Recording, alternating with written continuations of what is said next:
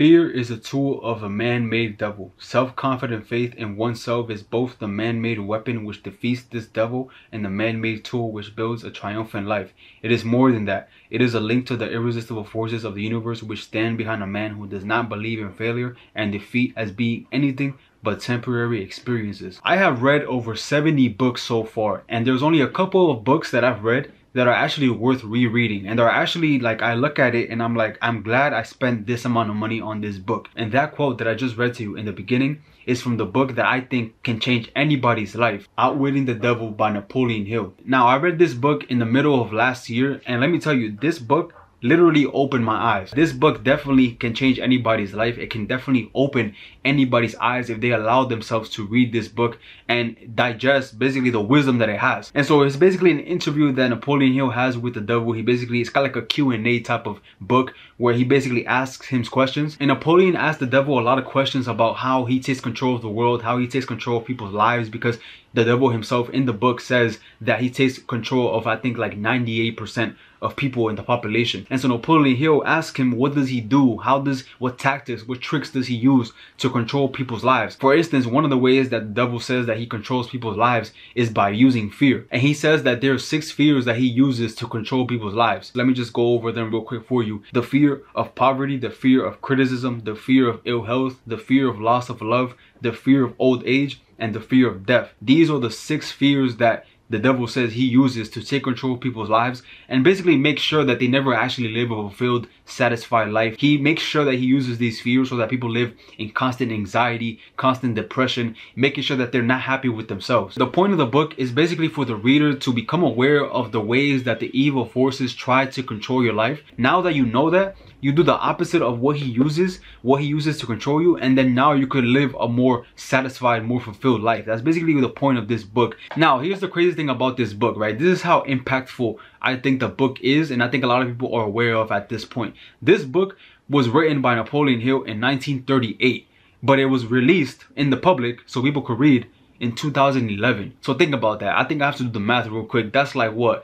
73, 83 years later, if I'm not doing the, you know, if I believe I'm doing the math right, 83 years later, the family ends up releasing the book. The reason why this happened is because back then when he wrote this book, the people who you know were around him said that it was going to be too controversial for him to release. The things that he writes in this book is not only about the six fears that the devil uses to control people's lives and attack these it's also about how the school system is in favor of that as well. How the school system makes sure that people don't chase what they want in life. And we see this nowadays today as well. A lot of people go to college they succeed in school but they don't, they don't succeed in life. We see a lot of people who go to college but they're still in debt. They're still unhappy with their lives Yet the world tells us that the American dream is to go to college, get a degree, get a nice secure job, and then buy a house one day, have a family, and they make us believe that this is the way that we're gonna live a happy, fulfilled life. We see so many people right now who live in houses, who have a car, who went to college, got their degrees, and we know that some of them, or the majority of them,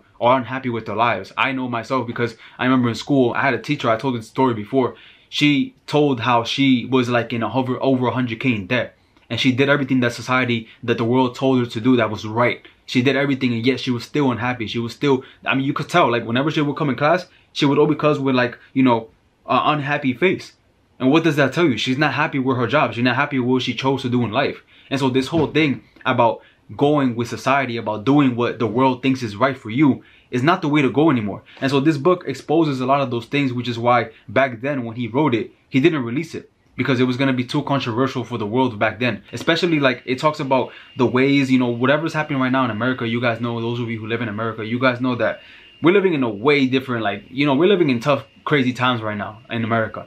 And he actually explains the things that are happening right now in America in this book right here, which is kind of crazy because he wrote this in 1938. Now, like I said, in this book right here, Napoleon has a conversation with the devil. He basically asks him questions of how he makes sure that he's in control of people's lives and he makes sure that people are living in constant anxiety, depression. And the devil actually reveals a way that he does this in page 113. I'm going to read you guys a couple of the lines right here so I can show you guys. And this section specifically talks about men. Now, here's a question that Napoleon asks the devil. He says, Yes, I admit your method is very clever, but what happens if the victim fools you and gets his hands on a lot of money? You don't fill his mind with fear of poverty then, do you? And the devil answers by saying, No, I don't. I take over the space by filling it with something which serves my purpose just as well. If my victim converts his desire for money into large sum, I start overfeeding him with things he can buy with. For example, I cause him to stuff himself with rich foods. This slows down his thinking capacity, endangers his heart, and starts him in the road to drifting. Now, if you guys don't know what drifting is, Napoleon Hill calls a person who's drifting someone who basically is running with life with no purpose, no goals,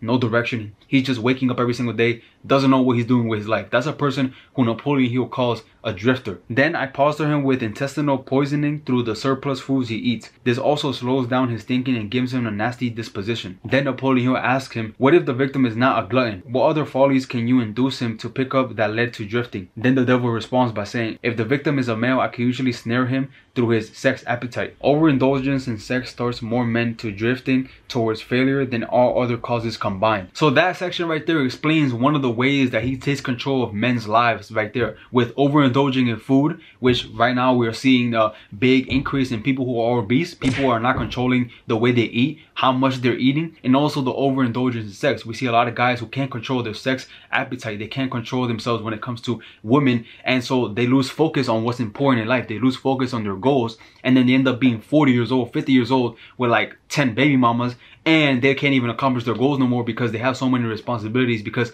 they couldn't control themselves when they were younger. Now, like I said in the beginning, this book really opened my eyes because it made me realize a lot of things, not only about how he uses fear to control your life, but also how he uses other tactics to make sure that you don't get to where you want to get to in life. Now, after reading this book, you're going to realize that Napoleon Hill is very big on faith and the devil himself is very big on fear. He actually wants you to believe in fear. And the crazy thing as well, I actually heard a quote that was really like eye-opening. It's actually from Bob Proctor. He said, faith and fear both demand you to believe in something you cannot see. You have to choose. You cannot see faith and you cannot see fear.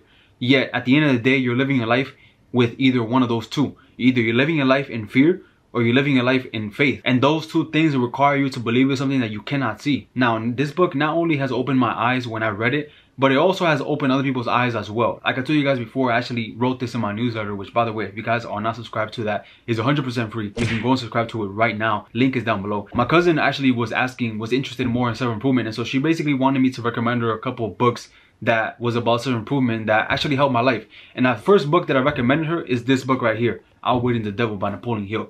And she read it. And after she read it, which was like two weeks later, she told me that it really opened her eyes. Like it really shifted her mindset a lot. She started to look at her life a lot differently. She started looking at her friends a lot differently. Like she even told me this one time that she was reading this at her job while she was during break. She was having lunch and she was reading it. And one of her like managers or one of her bosses came up to her and she asked her like, you know, what are you reading? And basically the point is the managers was kind of like, oh, like, you know, why are you reading the, those type of books or why are you reading that? Like, you know, we all, like, in our self-improvement journey, we all face those people who are like, you know, find it weird that we're like trying to improve our lives. Well, that was the case with her. Her manager, whoever it was, was like finding it weird that she was reading a book like this.